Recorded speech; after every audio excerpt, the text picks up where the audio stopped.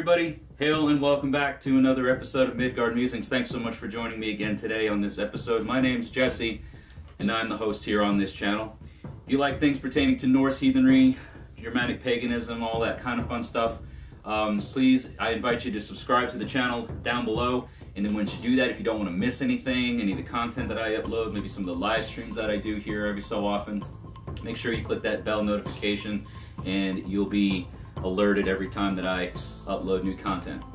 So, uh, ladies and gentlemen, this is a, the final video in a small uh, four-part series that I've been running over the last few weeks, and um, about the parts of self, or the we're kind of examining the parts of self um, that are looked upon and viewed um, in a Norse society, in a Norse worldview sort of thing. Um, it's a very complex thing that I've tried to basically get into some of the simpler stuff and, go into a little bit of the details about it, but it does get to tend to be quite complex. So the more studies you do, the more you know research that you do, the better um, informed you will become. But hopefully, this series has helped give you guys some sort of a um, basic understanding and a basic knowledge of what the various parts of self, of ourselves, um, that folks like myself, various heathens um, of the Germanic pagan, you know, inclination uh, tend to look at. So, so far, you're going to see some cards pop up here in the corner. So far,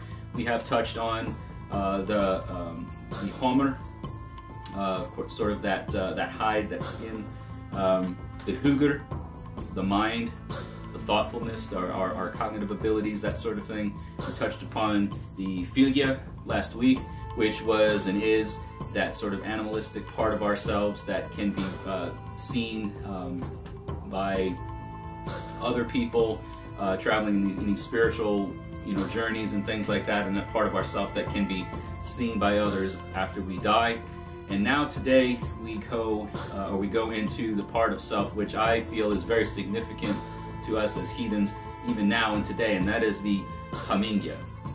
Okay, now the Hamingja is a probably most uh, often referred to or most often uh, connect uh, you, a, word that's most often used to signify uh, the word luck.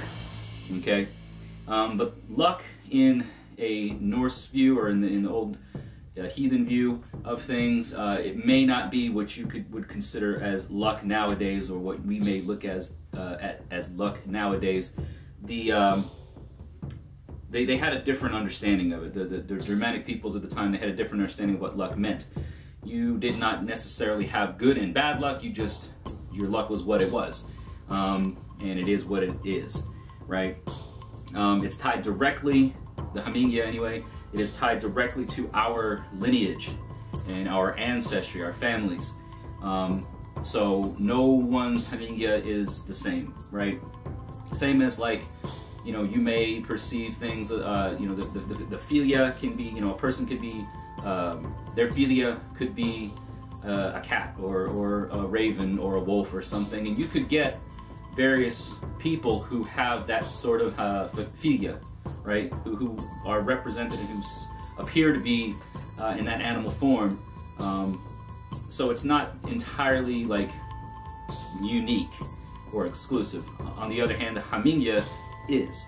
Um, the Hamingja is, is, is personified or can be personified, but it is exclusively tied to your family, your lineage, your ancestry and it is what follows you. It's, it, it's what stays with you. Um, sometimes it can go, sometimes it can leave, sometimes it will um, not always be with you. We'll get into a fun little blurb about that here in just a moment, but that is what makes the Hamingja so very unique and so very important, I think, is because it's tied to our families and to our, uh, our ancestors, our lineage. so luck was a quality uh, inherent and is a quality that's inherent in in a person and our lineage is part of our uh, sort of our personality as well I think um, it can be similar to someone's uh, strengths their intelligence uh, their skills you know uh, that sort of thing the sort of uh, th th those inherited fortunes or those inherited abilities um, I feel that it is quite often tied to the reason why some people are just so naturally good at some things while others tend to be lesser or, or, weaker in that aspect. You may get some folks who are just naturally good at, you know, blacksmithing or naturally good at public speaking or naturally good at just whatever it is that they are without having to take the extra effort to hone that skill, whereas other people just, it's not a part of their hamingja. It's not a part of what was passed down to them from their ancestors and, and, and their family lines, right? Um, and it is at once an interesting thing to note. The the hamingja is all in one, the both the the cause and expression of the success, success, wealth, and uh, power of a family. Right.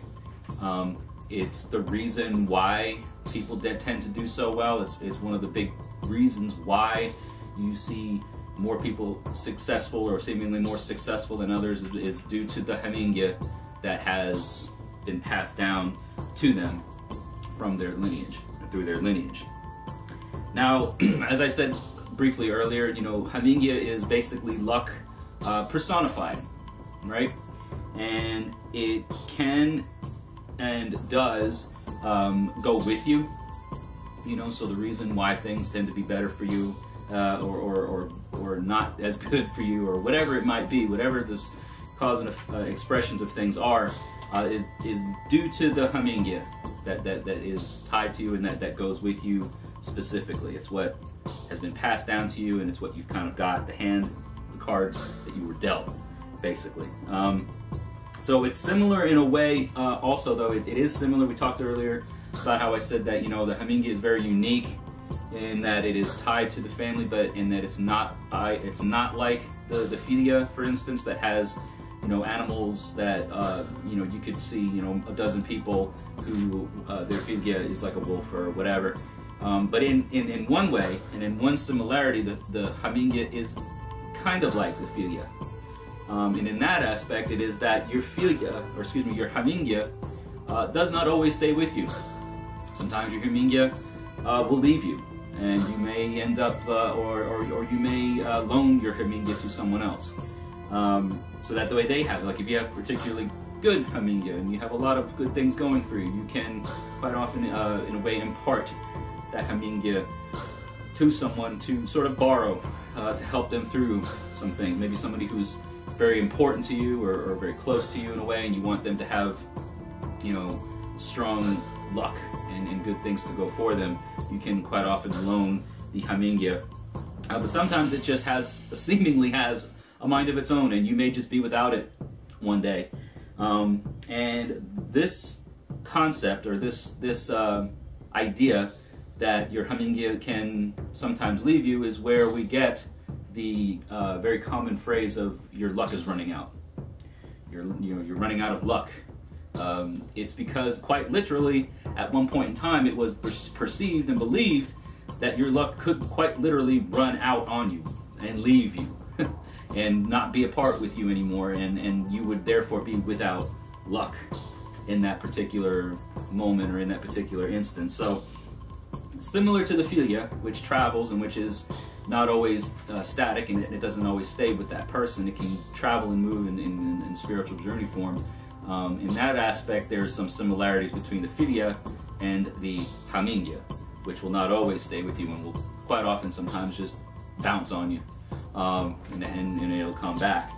Um, but I think that that's quite an interesting thing to think about. Um, that you know your hamingja travels with you or stays with you and goes with you, but some there's some times where you may just uh, get up on the wrong side of the bed, or things may just be happening weirdly for you that day, and, and doesn't quite seem that everything's lining up just right.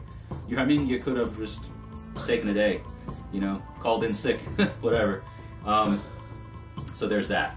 Um, one final note that I would like to also add is that um, as we've been talking about throughout this video and, and how closely tied to familial, uh, you know, the ancestral lines, your lineage and everything that, that the Hamingja um, is tied to directly, it is, it is passed down from generation to generation, right? So you're going to have uh, perhaps one uh, generation who received Hamingja from the ancestors before them, So they are the descendants that, that received the Hamingja, or the Hamingja just transferred into that that uh, that the descendant's life, and uh, they may need to kind of work things out. They may need to they may need to work their own luck. They need they need to add to the well themselves to sort of better the the circumstances of things because we are not what our ancestors were. Uh, quite often we we are what we are. We are our deeds. Um, but we often will inherit and, and, receive things that we just have no control over.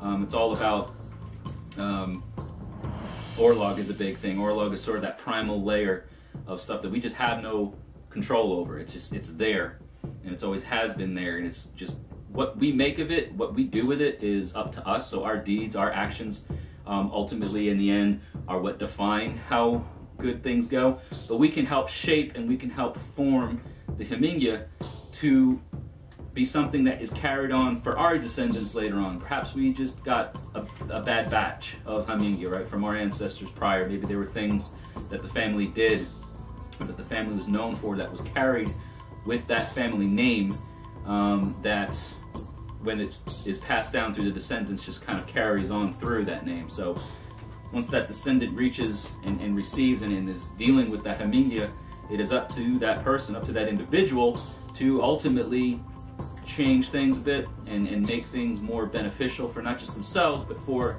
their descendants that come after them. And that's why I think that out of all the parts of self, right, the, the, the part that is our personality, the part that is our, our thought and our cognitive abilities, our thought that is the, you know, that, that skin, that, that hide, that layer, um, out of everything that we have, the, the animal parts of ourselves that, that can manifest itself in different ways, out of all the parts of self um, that we as, as Norse heathens will view the overall person as, I think the Hamingja is probably the most important, one of the most uh, important things that we as, as, as heathens nowadays should invest in. Because once we die, once our physical self is gone, once we no longer exist in this physical way, there are parts of ourselves that live on and that exist.